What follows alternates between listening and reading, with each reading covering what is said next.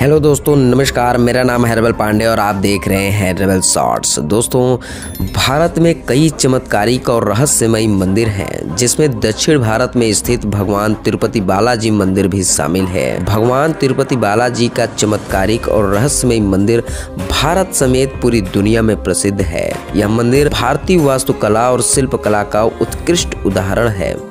तिरुपति बालाजी मंदिर भगवान विष्णु को समर्पित है। यह मंदिर आंध्र प्रदेश के चित्तूर ज़िले के तिरुमला पर्वत पर स्थित है और यह भारत के मुख्य तीर्थस्थलों में से एक है।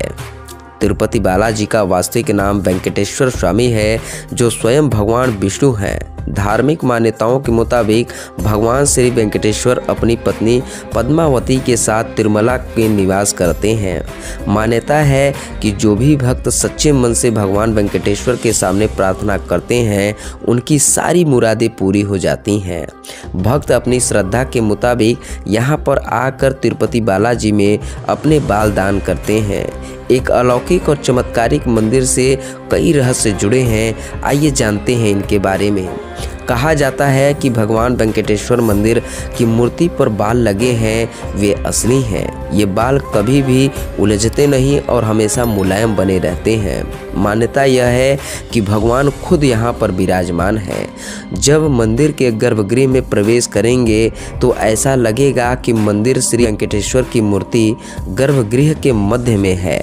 लेकिन आप जैसे ही गर्भगृह के बाहर आएँगे तो चौंक जाएँगे, क्योंकि बाहर आकर ऐसा प्रतीत होता है कि भगवान की प्रतिमा दाहिनी तरफ़ स्थित है। अब यह सिर्फ़ भ्रम है या कोई भगवान का चमत्कार, इसका पता आज तक कोई नहीं लगा पाया। मान्यता है कि भगवान के इस रूप में माँ लक्ष्मी भी समाहित हैं। इसकी वजह से श्री वेंकटेश्वर स्वामी को स्त्री और पुरुष दोनों के वस्त्र पहनाने की परंपरा है। तिरुपति बालाजी मंदिर में भगवान वेंकटेश्वर की प्रतिमा अलौकिक है। यह प्रतिमा विशेष पत्थर की बनी है। यह प्रतिमा इतनी जीवंत है कि ऐसा प्रतीत होता है जैसे भगवान विष्णु स्वयं यहाँ विराजमान है। भगवान की प्रतिमा को पसीना आता है। पसीने की बूंदें देखी जा सकती हैं, इसलिए मंदिर में तापमान कम रखा जाता है। श्री वेंकटेश्वर स्वामी के मंदिर में 23 किलोमीटर की दूरी पर एक गाँव है। यहाँ गाँव वालों के अलावा कोई बाहरी व्यक्ति प्रवेश नहीं कर सकता। इस गाँव के लोग बहुत ही अनुशासित हैं और नियमों का पालन कर जीवन व्यतीत करते हैं।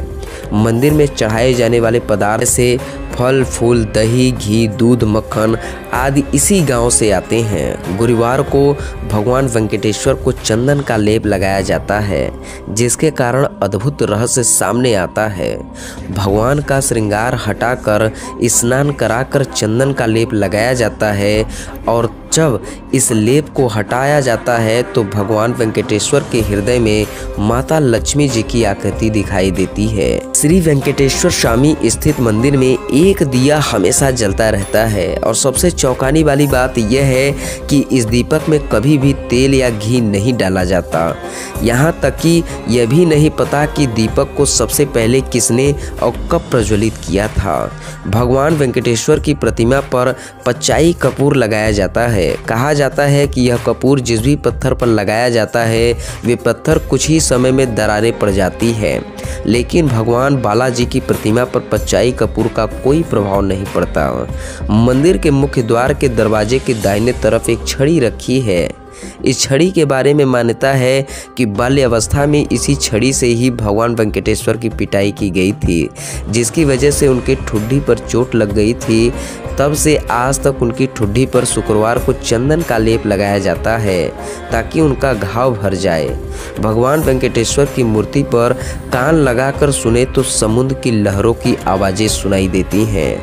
ये भी कहा जाता है कि भगवान की प्रतिमा हमेशा नरम बनी रहती हैं। तो दोस्तों, इस वीडियो में इतना ही। यदि वीडियो पसंद आए तो एक लाइक ज़रूर करें और चैनल को सब्सक्राइब करके नोटिफिकेशन बेल को दबाना ना भूलें। मिलते हैं अगले वीडियो में, तब तक के लिए नमस्कार।